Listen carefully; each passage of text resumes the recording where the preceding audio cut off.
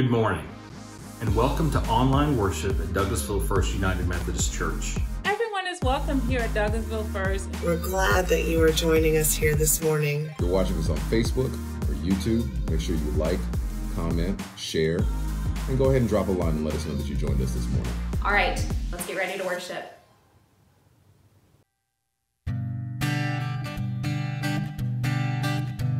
Turn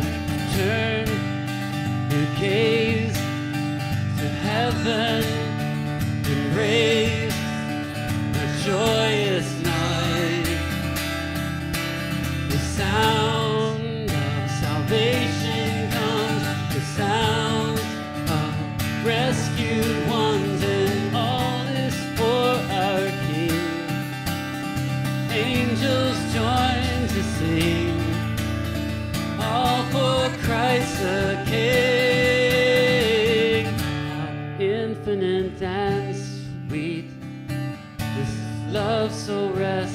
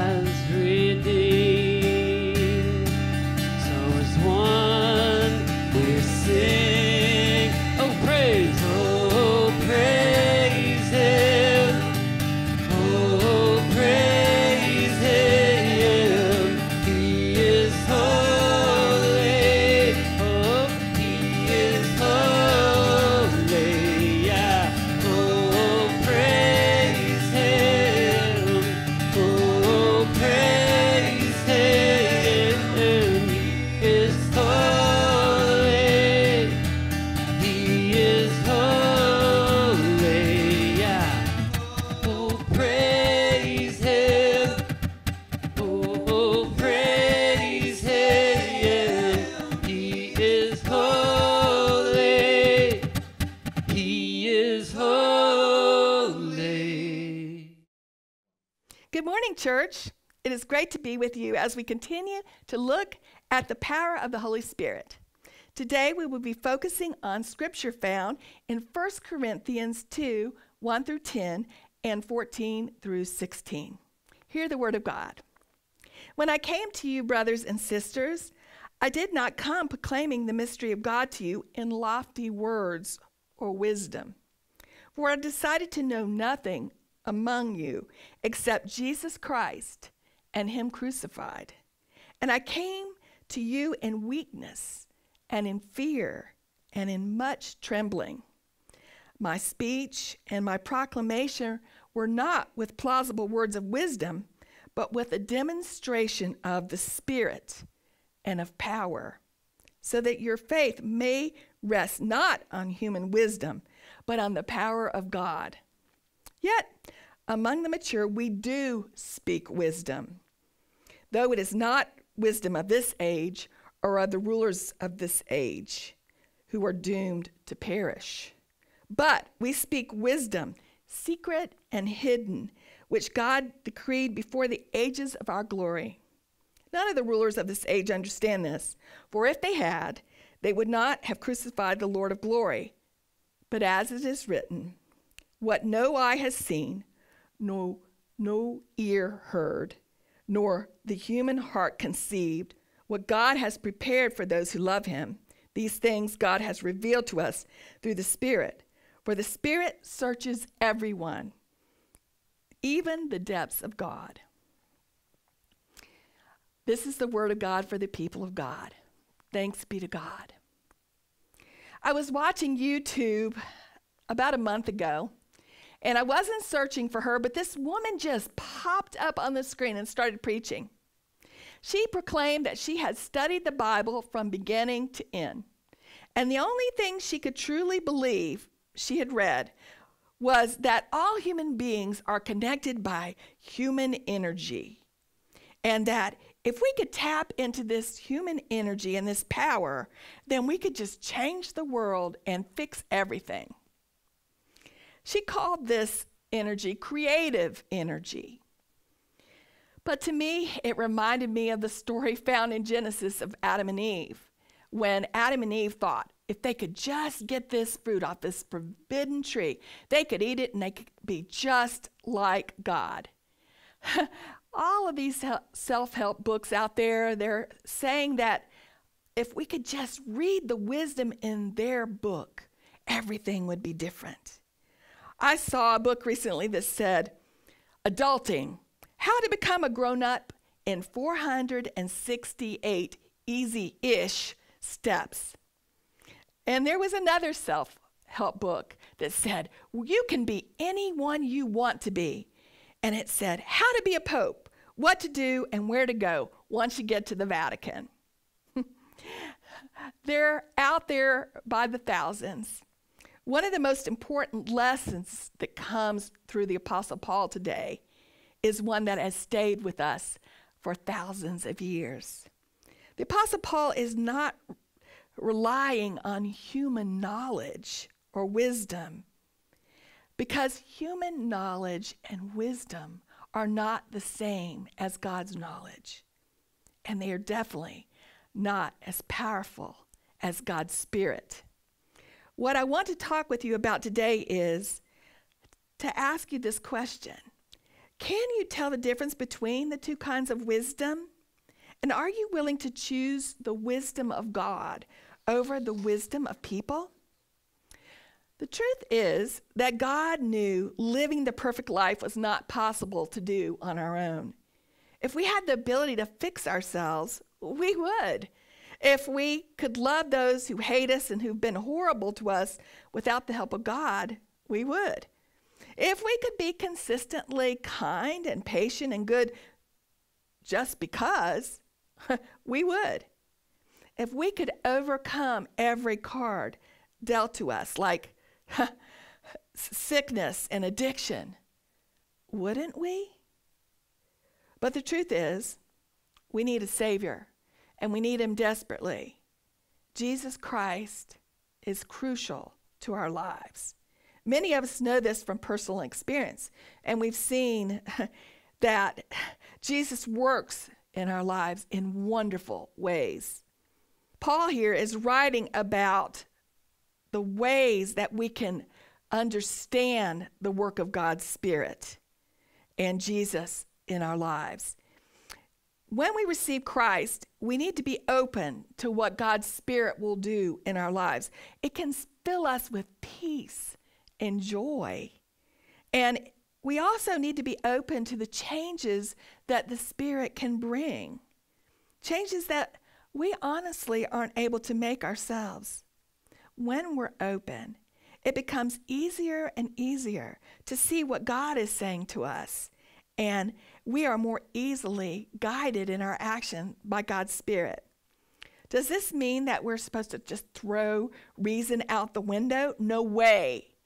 Even John Wesley, in his quadrilateral, said one of the ways to discern God is through wisdom. God gives us the ability to reason and can even enhance reason through the Spirit. Many of the churches that I've served during my lifetime have really dumbed down talking about the Spirit. We're encouraged not to talk about the powerful ways the Spirit is working in our lives because people will kind of think we're weird, which means perhaps we are more concerned about our self image than about the power of God. Or perhaps we're worried that people will be afraid and turned off by the power of God, which means perhaps we don't really trust the Holy Spirit to work in the lives of those who hear our testimonies. Let me continue reading in verses 14 through 16. Those who are unspiritual do not receive the gifts of God's Spirit, for they have foolishness in them, and they are unable to understand these words and this Spirit because they are given to us from God. Those who are spiritual discern all things, and they are themselves subject to no one else's scrutiny. For who has known the mind of God so as to instruct him? But we have the mind of Christ. I love that. I so love the fact that we can have the mind of Christ. Today's scripture lets us know that people around us are not going to understand that we have God's Spirit living in us. But at times, they will see our joy and our power, and they will want to know what that is. This is our opportunity to share Christ with them. But do we have the boldness to do this? As it says in verse 5, does our faith rest in the wisdom of man or in the power of God?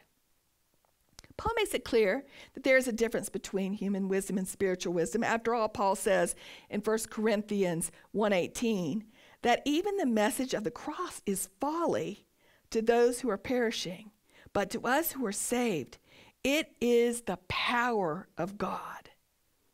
In our verses today, it says, The natural person does not accept the things of the Spirit of God, for they are folly to him. And he is not able to understand them because the things of God are spiritually discerned. One of the big questions we must ask ourselves today is Are we willing to say truths that may not be accepted by the general public? In verse 15, we read that those who are spiritual discern all things, and they themselves are subject to no one's scrutiny. I read this as we are not enslaved to the views of those who are not spiritually mature. Spiritual maturity is a process. I hope that each one of us is undertaking this process. And in this church, we would love to come alongside you during this journey. You can connect with us through the website or just give the church a call and say you're interested in learning more. For today, let's think about the ways that we can embrace what Paul says in verse 5 so that our faith might not rest on the wisdom of people, but on the power of God. I will never forget going on a youth trip to Jamaica years back with another church our group, our team, was in charge of overseeing Vacation Bible School. Well, the trick was that the Vacation Bible School um, was split into parts, and we had recreation as our responsibility. And the recreation was at the bottom of a very rocky slope on this big field. And so every day, the children would start jumping down the slope, just going over the rocks like little goats, and they would happily arrive at the bottom, and I would slowly make my way over the rocks and finally arrive later. One day I was making my way down the slope, and I noticed at the bottom a horrible sight. There was this young boy being held back by one of our youth, throwing punches with all of his might at this huge, huge a young adult, I would say, with big muscles. And there was obviously some sort of problem between the two of them. Later on, I realized that the older adult had stolen the boy's soccer ball. And to them, it was like gold. Well, I didn't even have time to think when I saw this because the older boy was grabbing this in just enormous boulder and getting ready to crush the little boy with it. And I ran as fast as I could across the field and held out my hand. and said, In the name of Jesus, peace. Then we saw a miracle. The older boy's eyes glazed over, and his arms went limply to his side, dropping the boulder to the ground. And he staggered off the field like he had been drinking. Well, the little child, he just went back to playing. It was like nothing had even happened. But our youth stood there with his mouth hanging open as he witnessed what God had done. Well, the youth couldn't wait to tell his friends what had happened on the field. And he boldly said, God did a miracle for us. He saved this child. And he was just joyful as he was telling what God had done. Well, the youth pastor got it and he said, Don't tell anybody else this story. And the boy said, Why? And he said, Because the parents will get scared and they won't want their youth to come on, on these trips anymore. Well, I have to say that young man did not stop telling the story. And he grew and he grew and he grew over the years in his faith and he himself became a strong Christian leader, leading many others to know Christ. The Apostle Paul, by all accounts, was a very knowledgeable man with an extensive resume. He put aside his earthly wisdom and instead chose to be led by God's Spirit. He was intensely focused on Jesus so that other people might come to know about him and be saved. This focus allowed him to bring a message, a message of a living Christ to all who needed desperately to hear him. Now, God's power is also available to us through the Spirit. The Holy Spirit will fill whatever space we're willing to give. We just simply need to let Christ come into our lives and allow the Spirit to do its work on us. Very often, we hold on to the wisdom of the world found in the latest video rather than depending on God for guidance. Sometimes we're just afraid of uh, uh, what others will think, especially our friends. What are they going to think if we give God total control of our lives and let the Spirit guide us. Today, I want to just encourage us to examine our thoughts and our actions and look at the areas that we can boldly depend on God and to, to just discern the times when we can boldly proclaim the good news of Jesus Christ as led by the Spirit. And to look for times when we can even be a part of God's miracles that are happening right now in this world. Let's just take a quiet moment to ask the Holy Spirit where in our lives we need to see Him, experience Him, and open ourselves up to Him.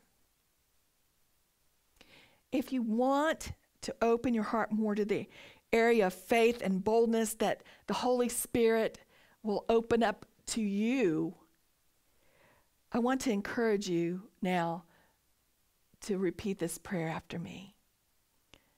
Let us pray. Lord, I want to give myself totally to the guidance of your Spirit. Let my faith rest in your power instead of in the wisdom of men. I ask you to fill me with your Holy Spirit and with your boldness, that I may not surrender to the judgment of people, but instead joyfully seek and speak the truth. In the name of Jesus, we pray. Amen.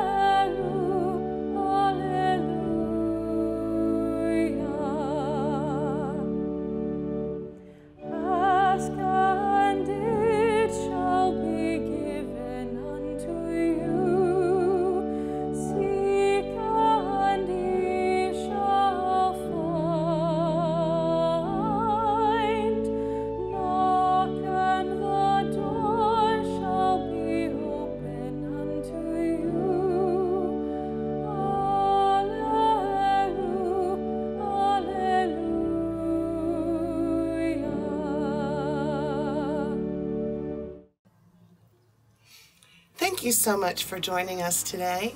To find out more about Douglasville First United Methodist Church, follow us on Facebook or at our website, douglasvillefumc.org. If you feel led to give to the church, there are several different options for you. And the easiest way to see all of those different options is to go online at douglasvillefumc.org. Have a great Sunday, everybody.